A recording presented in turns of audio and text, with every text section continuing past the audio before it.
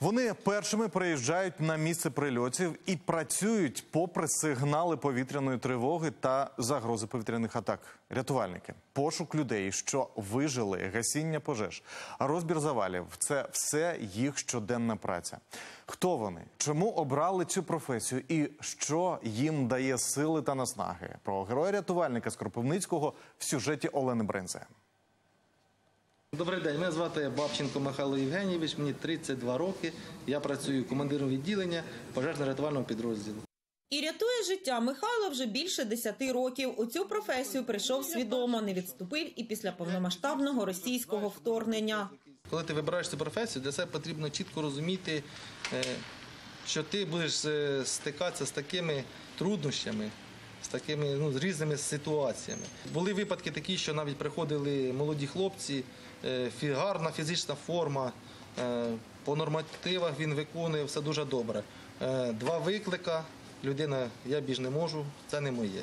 Тобто залишає службу. Тут не тільки що фізична форма, там розумова здатність там оцінювати все, потрібно ще дуже велике емоційне, тому що бувають такі випадки, що може десь там частини тіла будуть. Ну, людина це по-своєму сприймає.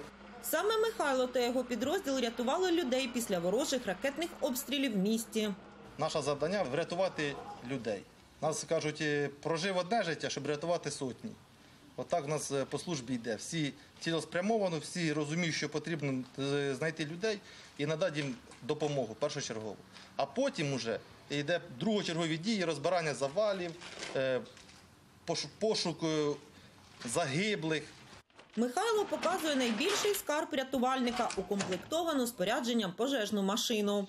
Завдяки цьому апарату пожежний рятувальник має змогу е, зайти в задимлене або загазоване середовище і знайти потерпілого. Це в нас переносний лафетний ствол.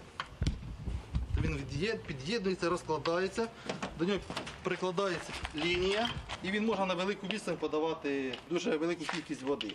Та не лише цей скарб допомагає працювати Михайлові. Найбільша цінність, яка надихає на роботу, це родина, каже рятувальник, а ще захоплення для душі.